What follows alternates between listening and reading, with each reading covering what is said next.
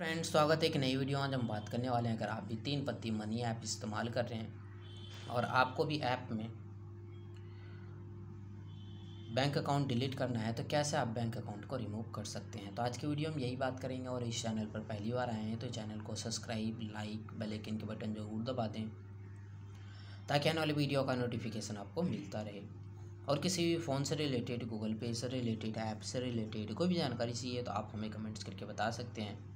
नहीं तो आप वीडियो प्ले लिस्ट में जाके आप वहाँ से भी प्रॉब्लम को सॉल्व कर सकते हैं। तो आपको सबसे पहले ऐप को ओपन करना है। ओपन करने के बाद आपको इस टाइप से इंटरफेस देखने को मिलेगा। सबसे टॉप में विड्रॉ पर करना है क्लिक। विड्रॉ पर क्लिक करने के बाद आपको इस टाइप से इंटरफेस देखने को मिलेगा। आपको थोड़ी देर वेट कर लेना है। उसके बाद आपको यहाँ पर प्लस बैंक अकाउंट पर क्लिक करना है। और कोई आपको दूसरा बैंक अकाउंट ले लेना है। अकाउंट नंबर डालना है। जो आपके बैंक अकाउंट में नेम है, आपको वो नेम डालना है।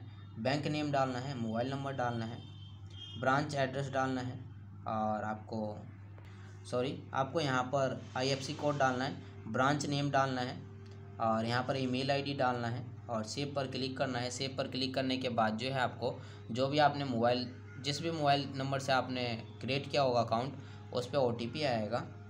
ओटीपी डालना है। ओटीपी डालने के बाद जो है आपको वेरीफाई पर क्लिक कर देना है। आपका बैंक अकाउंट जो है चेंज रिमूव हो जाएगा और दूसरा वाला बैंक अकाउंट ऐड हो जाएगा। तो आप इसी तरह से अकाउंट को रिमूव कर सकते हैं। तो आज के वीडियो में बस इतना ही। और हमारे वीडियो देखने के लिए share subscribe like bell icon के बटन ज़रूर दबा दें ताकि आने वाले वीडियो का नोटिफिकेशन आपको मिलता रहे। मिलता है नेक्स्ट वीडियो में एक नई टॉपिक के साथ। तब तक के लिए नमस्कार।